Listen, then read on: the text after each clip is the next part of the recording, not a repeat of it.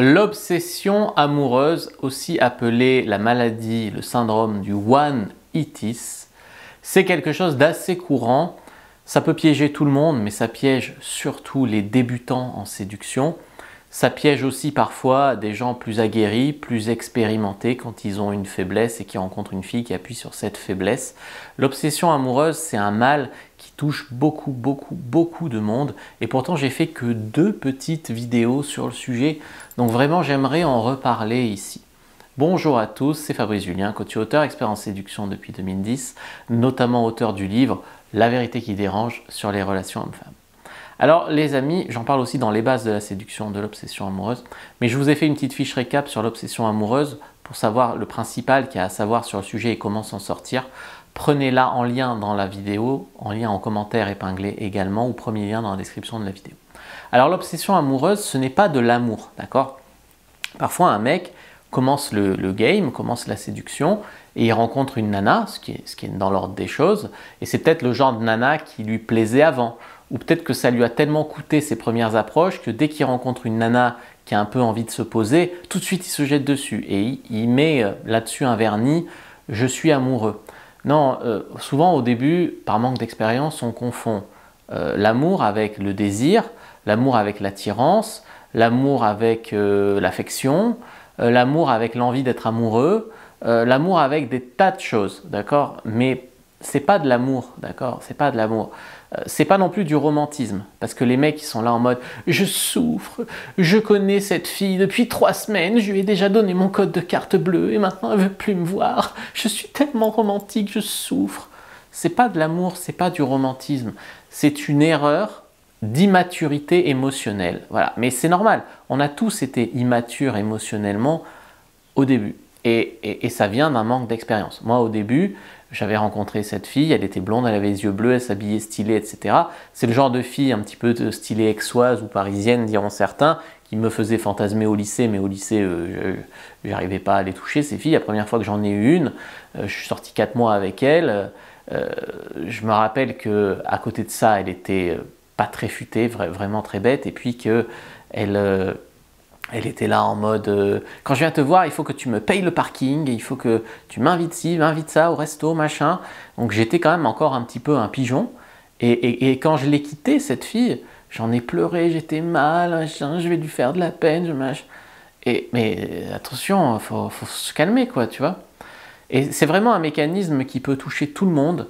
Du one-itis, j'en ai eu au début, et puis j'en ai eu il y a quelques années, encore une, une fois sur une fille qui finalement avait euh, été un peu, un, peu, un, peu, un peu folle dingo aussi, mais qui, qui, était jolie, qui était médecin, etc. Et elle avait appuyé sur moi sur le bouton euh, euh, pression sociale. Parce que tu vois, bon, moi, je vis de mon blog, je vis plutôt bien, mais j'ai pas la reconnaissance sociale. Tu vois, quand tu es médecin, les gens ils te prennent au sérieux, etc. Moi, je suis coach en séduction. Ah, voilà, donc au final, peut-être que je gagne plus d'argent qu'elle, mais en tout cas, et ça avait appuyé un petit peu sur ces complexes sociaux.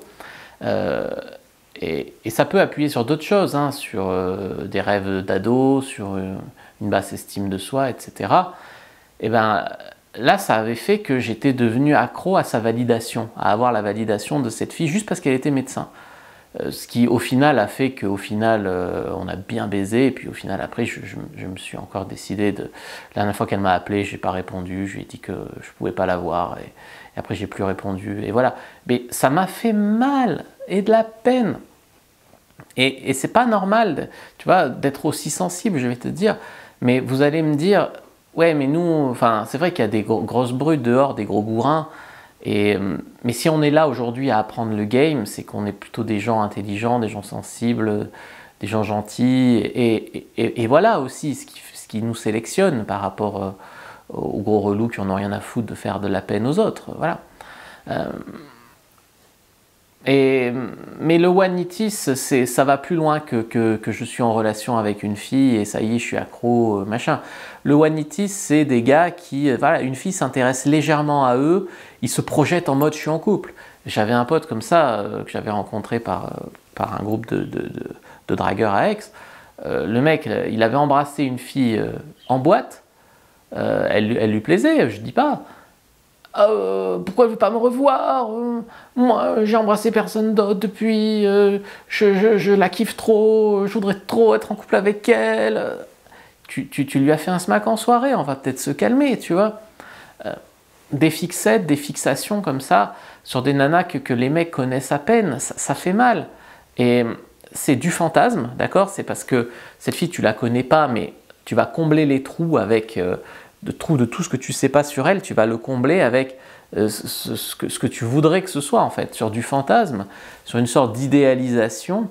Et puis vraiment, il y a aussi un état d'esprit de rareté. Dans le one-itis, il y a le mec, j'ai trouvé une fille qui me plaît, ah, ah, ah, je trouverai jamais d'autre, je la garde, ah, non, il faut de l'abondance dans tes choix, d'accord? Il n'y a, jamais mieux que pour tourner la page avec une fille que de coucher avec dix autres nanas. C'est la vérité. Et, cet état d'esprit de, rareté et, ces nanas à quels ils sont accros, ça les fait souffrir. Mais ça les fait souffrir d'une manière disproportionnée par rapport à ce que c'est. La fille, il lui a fait un smack en soirée, si elle embrasse un autre gars, le mec se sent trompé au plus profond de ses tripes. Et pourquoi euh, Et pourquoi parfois cette nana euh, qu'ils ont idéalisé, qui veulent à tout prix, finalement, elle est banale, elle est normale. Mais ils la voient comme super spéciale, c'est elle, ça va trop vite, c'est trop intense. Et ils deviennent super needy, super dépendants, super euh, acquis. C'est grave, c'est gravissime. Parce que des fois, quand tu prends du recul et que tu sors de ton wanitis, tu te dis, mais enfin, mais je peux avoir mieux qu'elle, qui me traitera mieux, avec qui ça sera plus fluide la relation, et je me suis emmerdé à être malheureux pendant 4 mois à cause de cette nana-là. C'est chaud. Il y, a des mecs, ils ont tellement envie de quitter le game qu'ils croient qu'en 3 mois, ils ont trouvé le grand amour. Ce qui est statistiquement peu probable. D'accord? Trop pressé de vouloir arrêter la drague parce que au début ça te bouge le cul de, sortir draguer et tout, de faire des rencontres et c'est pas forcément confortable. Tu vois, moi aujourd'hui, si je suis célibataire, je suis heureux, je vais me taper plein de meufs. Si je suis en couple, je suis heureux parce que je suis en couple. Euh, les mecs, souvent, ils sauvent d'être célibataires. J'ai enfin trouvé quelqu'un. Je vais enfin arrêter de draguer. Ouh, mais il y a un stade à passer où tu prends le pouvoir là-dessus. Mais souvent, la plupart des mecs ne passent pas ce stade, ils font quelques progrès qui leur permet de trouver une nana, ils s'arrêtent sur cette nana, euh, au bout de, je sais pas, de six mois, ils sont déçus, ils reprennent à zéro parce qu'ils ont perdu tous les progrès qu'ils ont faits, parce qu'ils n'ont pas consolidé leurs progrès, voilà. C'est super toxique une relation où vous vous laisseriez manquer de respect par une nana, euh, où vous manqueriez de respect vous-même à vos valeurs, juste par peur de la perdre, juste par peur de devoir recommencer à draguer, juste par peur de je sais pas quoi. Euh, les mecs deviennent trop mielleux aussi. Ça aussi que ça fait le one-itis. C'est qu'ils la connaissent à peine, ils sortent le grand jeu du romantisme. Et après, ils se disent, ouais, Fabrice Julien, c'est un connard, et il parle aux meufs de cul, euh, et ça marche. Parce que la plupart des autres, c'est soit des connards sans éducation, effectivement, qui parlent de cul comme des bourrins, moi je parle de cul mais pas comme un bourrin, soit des mecs trop mielleux qui, au final, c'est malaisant aussi pour les femmes, tu vois. C'est pas de la noblesse d'être trop mielleux, hein, faut, faut se calmer. Voilà. Euh, c'est pas euh, être un, romantique que de mettre une nana que tu connais à peine sur un piédestal. Ça va pas faire grandir à tes yeux ta valeur. On a des fois l'image que les femmes veulent cet homme qui va les aimer tout de suite au premier regard pour ce qu'elles sont, qui va les trouver géniales, parfaites, qui va leur permettre d'exprimer de, tous leurs problèmes, qui va les sauver. Mais non, non, non, non. C'est super toxique. Voilà. Euh, je me rappelle. Je me rappelle des, fois où je me suis pris la tête, surtout au début, mais même plus largement après, depuis que je pratique le game, j'ai été en couple euh, avec des nanas, j'étais en couple 6 mois, 2 ans, 4 ans, été en couple plusieurs, non 4 ans, non 3 ans, été en couple plusieurs fois, euh, mais qu'est-ce que je me suis pris la tête pour des nanas qui finalement en valaient pas forcément la peine? Tu vois, j'avais 25 ans, je me mets en couple, ou 26 ans, je me mets en couple et, et je me rappelle, je venais de, finir le tournage de la formation Cyprine, je me suis mis en couple avec cette fille et, euh, et, je lui ai été fidèle et j'ai toléré des crises de nerfs, des comportements de ça, en me disant ce sera peut-être la bonne, la bonne, la bonne. Et, voilà, à 29 ans, je me suis retrouvé célibataire euh, parce que je l'ai largué. Et pendant ces trois ans, euh, par exemple, on a fait quelques expériences libertines, mais on aurait pu en faire beaucoup plus. Au début, j'avais de la peine de, on va dire, au début, j'ai mis du temps à être vraiment libertin et à, échanger, etc. Mais, mais maintenant que ça fait, ça fait 4-5 ans, je me dis, mais j'aurais dû échanger avec toutes les bombes que j'ai croisées et toutes me les faire. Tu vois? Donc, avec le recul, tu te dis, c'est ridicule, c'est niais, j'aurais dû profiter, j'aurais pas dû m'arrêter sur des nanas comme ça. Mais quand tu es dans le moment, tu, te berces d'illusions, d'espoir, de machin, de trucs. Faudrait être plus lucide, quoi, sur le moment. Mais c'est pas facile. C'est vraiment pas facile. Moi, j'ai un message pour vous, c'est profiter. Profiter d'être jeune, profiter d'être célibataire. Si ça se trouve, profiter d'être divorcé, même, profiter. Profiter. Profitez quand vous êtes avec quelqu'un, mais profitez aussi quand vous êtes seul et que vous pouvez faire les 400 coups. Ça n'aura qu'un temps. Les mecs qui sont euh, célibes et qui se gâchent la vie avec cette fille qu'ils ont rencontrée, pas rencontrée, je suis déprimé, je la veux, je veux pas rencontrer une autre, c'est elle, machin. Oh, à l'échelle d'une vie, c'est rien cette nana. Bouge-toi, profite, fais des rencontres, éclate-toi. Pense à tous les mecs casés qui auraient envie de faire ça. Voilà. Non, mais des fois, je réfléchis et je me dis comment je me suis pris la tête, comment je me suis compliqué la vie pour des nanas qu'aujourd'hui j'ai quasiment oublié. Tu vois, c'est chaud. Euh, s'enfermer dans des relations et perdre trois mois, euh, perdre du temps, et, et, c'est pas comme si euh, c'était des relations géniales. C'est des relations où tu te dis c'est peut-être la bonne, je vais faire des efforts pour que ça marche, machin. Et, non, non, non. Une ex, tu te dis ça m'excite le libertinage, mais je vais pas y aller à fond quand même, c'est ma meuf. Et, au final, euh, t'aurais dû. voilà.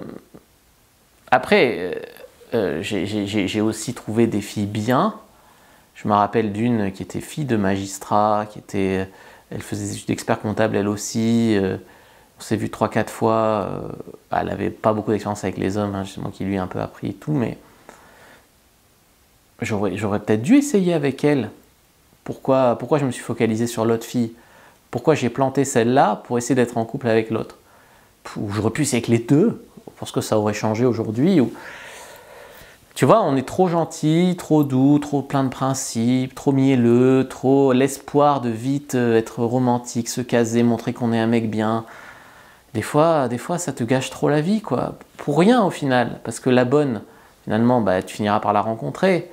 Et, voilà, après, si on savait, mais ce que je veux dire ici, c'est tu vois, quand tu jeune, tu es petit bébé avec tes parents, bah, tu fais des caprices, tu te gâches la vie parce que tu n'as pas la dernière paire de baskets à la mode. Et profite, c'est des moments dingues que tu, regretteras plus tard.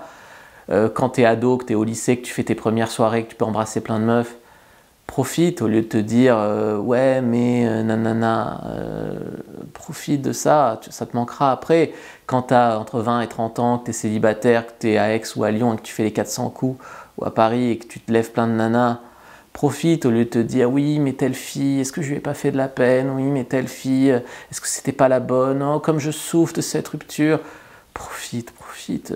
Après quand tu auras 40 ans, que tu auras deux gosses, que tu seras marié depuis, euh, depuis 8 ans avec la même nana, et ça va te manquer, tu vois. Comment on se complique la vie le moment présent et, que des fois on se gâche le moment présent, c'est chaud quoi. Et hum, je vais vous dire, les, nanas vraiment qui ont, eu de la valeur dans ma vie, qui ont marqué ma vie, je les ai souvent rencontrées à des moments où je ne cherchais pas de couple. Quand je vois des filles qui cherchent un couple à tout prix ou des mecs qui cherchent un couple à tout prix, c'est la meilleure manière pour te lancer dans des histoires avec des gens juste parce qu'ils veulent un couple aussi ou juste parce que tu as envie d'être en couple, mais pas parce que c'est cette personne qu'il te faut. Donc euh, les meilleures manières de trouver quelqu'un pour toi, c'est de ne pas chercher un couple à tout prix, c'est de faire des rencontres et, ça sera une évidence à un moment où il faudra essayer avec quelqu'un. Et arrêter de vouloir avoir tellement envie de rencontrer la bonne ou d'être en couple à tout prix que ça te met dans des états d'obsession amoureuse ou de wanitis ou de et ce n'est pas de la noblesse d'âme, ce n'est pas du romantisme, ce n'est pas être quelqu'un de bien finalement, c'est une immaturité émotionnelle ou un complexe, un problème d'estime de soi qu'il faut, qu'il faut résoudre.